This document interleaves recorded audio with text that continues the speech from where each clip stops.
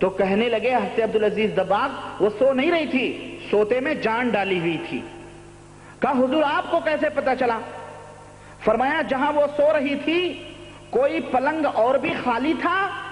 अर्ज़ किया, हाँ, एक पलंग खाली था। फरमाया, उस पर मैं बैठा हुआ था।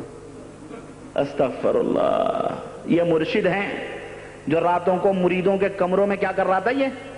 पूछो इससे। मुजद्दिद दीन मिल्लत, जिनके ऊपर नाज है। अमीर अहले सुन्नत, फाजले ब्रेलवी, अहमद रजा खान, जिनकी कॉन्फ्रेंसें मनाई जा रही हैं। और जिनकी शान में अल्लाह अकबर, ये सैयद अपने आप को कहता है, हमारे मुल्क में एक सैयद है। खान खानका का शिया हुआ है, उसने अपना सैयद लगाया हुआ शिये अक्सर सैयद होते हैं भाई, पुजारी जारी। ये सैयद के नाम पे कलंक का टीका है।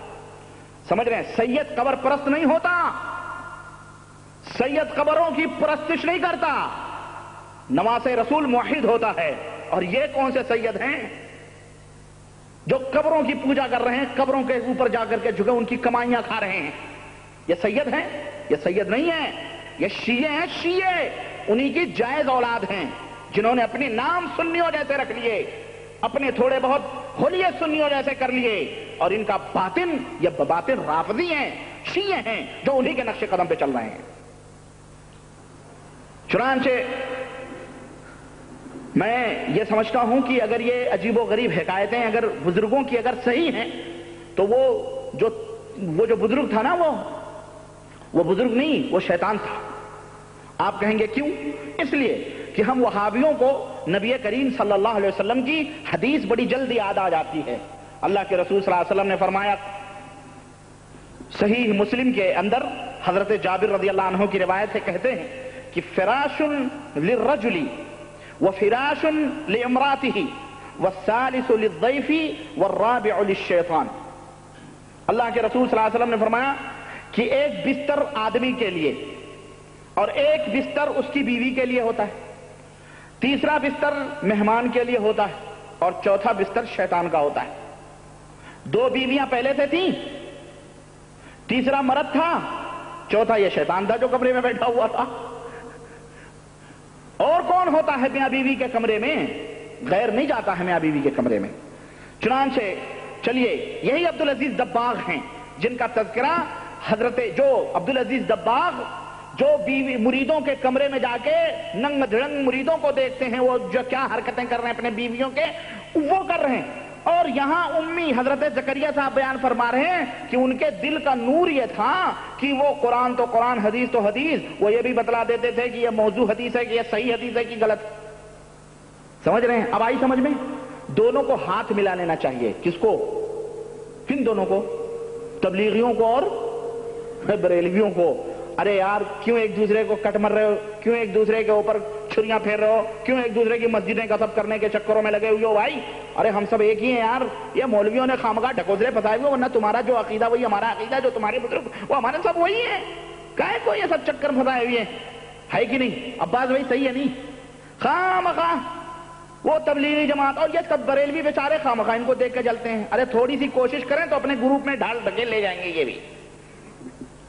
आइए उसके बाद में तजकरतुल खलील, हज़रत जकरिया, अरे यार मैं सोचता हूँ कि वक्त ज़्यादा हो जाता है। कुछ लोग कहते हैं कि आप तफसील से बयान करें यह ज़्यादा बेहतर है। यह ना सोचें कितनी कैसेटें इसकी तैयार होंगी, कितनी नहीं होंगी। आप हमको तफसीलात बयान करें। चलो, मैं सोचता हूँ सही बात है। यहाँ से थोड़ा, यहाँ से कुदक उदक, पुदक नहीं सही है। तफसील के साथ पोस्टमार्टम होना चाहिए।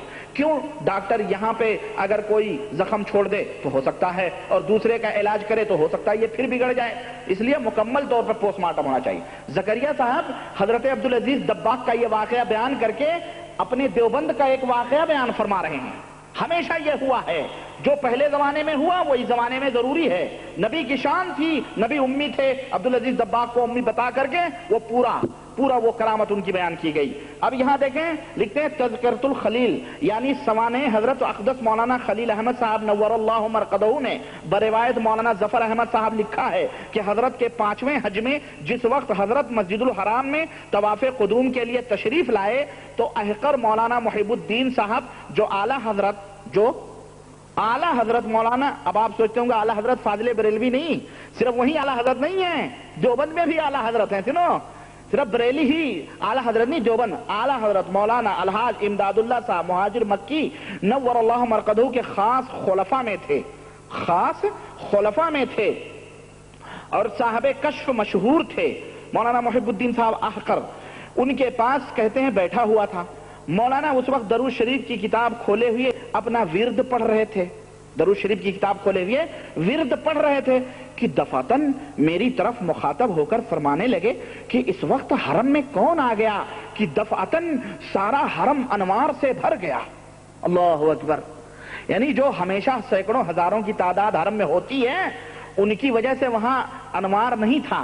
अल्लाह का जो नूर हरम के ऊपर होता है वहाँ नहीं उस, उससे उजाला नहीं हुआ। अल्लाह के फरिश्ते, अल्लाह की रहमतें जो वहाँ नाजिल होती हैं, उसे कोई फ़र्क नहीं पड़ा। लेकिन सुने, कह रहे हैं कि दफातन सारा हरम अनवार से भर गया। मैं खामोश रहा। इतने में हज़रत तवाफ से फारिग होकर मौलाना के पास को गुजरे, जो हज़रत तवाफ कदूम कर रहे थे, उनके पास से गुजरे, मौलाना खड़े हो गए। मौलाना खड़े हो गए जो दरूद का विरद कर रहे थे। और हंसकर फरमाया कि मैं भी तो कहूँ कि आज हरम में कौन आ गया? आज हरम में कौन आ गया? यानी आपकी जात आई तो हरम अनवार, हरम में अनवार और बरकत की रोशनी फैल गई नौजबिल्ला ये देवबंद के आलिम भी मौला खली सहारनपुरी जल्दी क्या भाई। खैर, आगे बढ़ते हैं हम, आगे बढ़ते हैं। आइए मैं आपको और भी कुछ नमूने फजाइल ज़िक्र के दिखाता चलूँ। हज़रत जुनेद और सूफिया के ताल्लुक से जकरिया साहब ने सफ़ा तैतालीस के अंदर सफ़ा तैतालीस के अंदर ज़िक्र किया है। लिखते हैं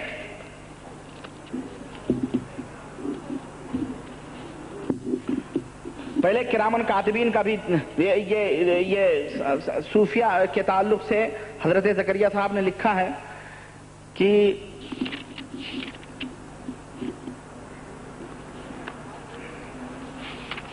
सफ़ा तैतालीस पहले एक अकीदा बयान किया गया है इसमें। कौन सा? जकरिया साहब कहते हैं कि बाज आमाल अच्छे ऐसे होते हैं जिनका, या टिश्यू पेपर था यहीं पे क्या हुआ? है? बाज आमाल ऐसे होते हैं कि जिनका पता किरामन कातबीन को भी नहीं चलता है। किरामन कातबीन जानते हैं कौन है? करामन कातबीन वो हैं जिनके बारे में अल्लाह वहदहुल शरीक ने कुरान करीम के अंदर फरमाया है। अल्लाह ताला ने कुरान करीम के अंदर फरमाया है कि इन्ना अलैकुम लहाफिदीन किरामन कातिब, किरामन कातिबीन कि तुम्हारे ऊपर निगरा मुकर्र हैं, जिन्हें किरामन कातबीन कहते हैं। और जो जो तुम करते हो, वो तमाम सब, वो क्या करते हैं? जानते हैं। इसी तरह एक जगह अल्लाह ताला ने फरमाया कि वह यकूलूना या वही माल हादल किताब, ला युगादिर सगीरत वला कबीरा, इल्ला हसाहा कयामत के दिन जब आमान नामा पेश होगा तो लोग कहेंगे कि अल्लाह अकबर, ये कौन सी किताब है जिसने छोटी बड़ी सब चीज़ों को जमा कर रखा है? यानी कोई बड़ी से बड़ी चीज़ भी हमने की और छोटी से छोटी चीज़ भी की, वो अल्लाह ताला ने इसमें नोट कर दिया है। वो वजदू मा अमिलू हाजरन, और जो कुछ भी वो करेंगे, वो हाजिर पाएँगे। वला यजलिम रब्बु अहदा, अल्लाह ताला तुम्हारे ऊपर, किसी के ऊपर जुल्म नहीं करेगा। सूर्य कहफ, आयत नंबर उनचास। यानी किरामन कातरीन, जो कुछ भी आदमी करता है, वो मुकर्र है, वो लिखते हैं। एक मोमिन और मुसलमान का अकीदा है। हज़रत जकरिया साहब फरमाते हैं कि मयाने आशिको माशूक रमजेस, मयाने आशिको माशूक रमजेस, किरामन कातबीरा खबर, किरामन कातबीरा हम खबर नहीं कहते हैं कि आशिको माशूक में ऐसे रमज भी होते, ऐसी रमज भी होती है। यानी आशिको माशूक में ऐसे इशारे भी होते हैं जिसकी फरिश्तों को भी खबर नहीं होती। नौजबिल्ला नौजबिल्ला फरिश्तों को भी क्या नहीं होती है? खबर होती है। कहते हैं कि कितने खुशकिस्मत हैं वो लोग जिनको एक लहजा भी गफलत नहीं होती। और उसके बाद में हज़रत जुनेद का, यानी देखें कि अकीदा बनाया जाता है कि कुछ ऐसे भी आशिकों ऐसे आशिक बनो कि तुमसे फरिश्ते भी पीछे हो जाएँ। खलास, फरिश्ते तुम क्या कर रहे हो? फरिश्तों को भी इल्म और खबर नहीं है। नौजबिल्ला ये कुरान से टकराने वाला अकीदा नहीं है क्या है? आप बताएँ मुझे। डायरेक्टली अल्लाह वहदहुल्ला शरीक के फरमान का एकदम यानी मुखालफत है इसके अंदर और आगे लिखते हैं कहते हैं कि हज़रत जुनैद से नकल किया गया है कि उन्होंने एक मरतबा ख्वाब में शैतान को बिल्कुल नंगा देखा देखे हज़रत जुनैद बगदादी और ये जुनैद बगदादी कौन है मालूम है हा? हज़रत जुनैद बगदादी इन्होंने लिखा रदी अल्लाह तला अनहो किसने जकरिया साहब ने उनके बारे में लिखा रज़ी अल्लाह तला यानी कोई बेचारा अगर आम आदमी हो तो यह समझे कोई सहाबी वहाबी है भाई। है कि नहीं? क्योंकि रज़ी अल्लाह तला सहाबियों का टाइटल यह और बात है कि आज कल करके हमारे कुछ ओलमा ने लल्लू पंजू को भी रज़ी अल्लाह तला लिखना शुरू कर दिया आला हज़रत रदी अल्लाह तला हमें हज़रत रदी अल्लाह यानी इस कदर घटिया हो गए ये लोग, अल्लाह इन्हें हिदायत ये जुनैद बगदादी कौन है? अब मैं आपको बताऊँ। मुजद्दिद दीन मिल्लत आला हज़रत फाजल बरेलवी रहमतुल्लाह हम नहीं कहेंगे भाई, क्योंकि वो मुशरक था। कोई शक नहीं। कोई शक नहीं कि वो मुशरक था। उसने एक वाकया निकल किया है हज़रत जुनेद बगदादी का, अपनी किताब मलफूजात के अंदर।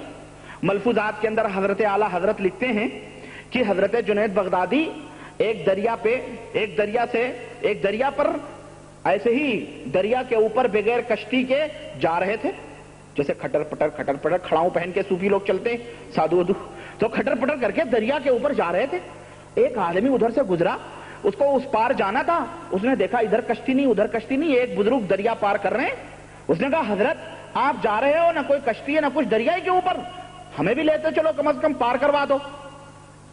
हज़रत जुनेद बगदादी ने फरमाया, हज़रत जुनेद बगदादी ने फरमाया अच्छा आजा आजा कहा, हुजूर, गिर, डूब जाऊँगा। कहा, नहीं, डूबेगा नहीं, बल्कि तू ये कह। क्या? या जुनेद या जुनेद या जुनेद या जुनेद या जुनेद या जुनेद।